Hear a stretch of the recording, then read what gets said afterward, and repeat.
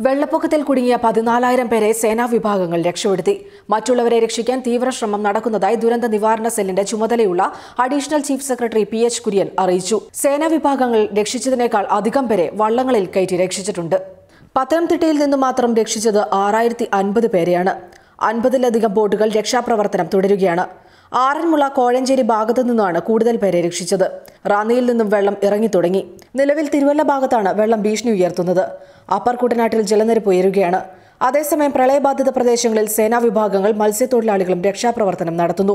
Helicopter വഴി രക്ഷാപ്രവർത്തനം നടത്തുന്നതിനു പുറമെ വള്ളങ്ങളിലും ബോട്ടുകളിലും ഭക്ഷണം എത്തിക്കുന്നത് പരിഗണനയിലാണ്. പ്രളയക്കെടുതിയിൽ കുടുങ്ങിക്കിടക്കുന്നവർ സഹായ അഭ്യർത്ഥന ആവർത്തനം ഒഴിവാക്കണമെന്ന് അധികൃതർ അറിയിച്ചു. പ്രളയബാധിത പ്രദേശങ്ങളിൽ കുടുങ്ങിക്കിടക്കുന്നവരെ രക്ഷിക്കണമെന്നാവശ്യപ്പെട്ട് പല നമ്പറുകളിലേക്കും വരുന്ന സഹായ അഭ്യർത്ഥനകൾ പലതും രക്ഷപ്പെടുത്തിയവരുടെ വിവരങ്ങൾ വീണ്ടും എത്തുന്നത് ആശയക്കുഴപ്പമുണ്ടാക്കുന്നുണ്ട്. മെസ്സേജുകൾ ഫോർവേഡ് ചെയ്യുന്നതിനു മുൻപ് അവർ ഇപ്പോഴും കുടുക്കി കിടക്കുകയാണോ എന്ന് ഉറപ്പുവരുത്തണം. പുതുതായി സഹായ അഭ്യർത്ഥന നടത്തുന്നവർ തീയതിയും സമയവും കൂടി സന്ദേശത്തിൽ ഉൾപ്പെടുത്തുക. എല്ലാ വിവരവും ചേർത്ത് ഒറ്റ സന്ദേശമായി അയക്കണം. വിവരങ്ങൾ മുറിച്ചു മുറിച്ച് അയക്കുന്നത് ബുദ്ധിമുട്ടുണ്ടാകും. കൃത്യമായ സ്ഥലവും അടയാളവും ജില്ലയും കുടുങ്ങിക്കിടക്കുന്നവരുടെ കൃത്യമായ എണ്ണവും അവരെ ബന്ധപ്പെടാനുള്ള ഫോൺ നമ്പർ ഉണ്ടെങ്കിൽ അതും ഉൾപ്പെടുത്തണം.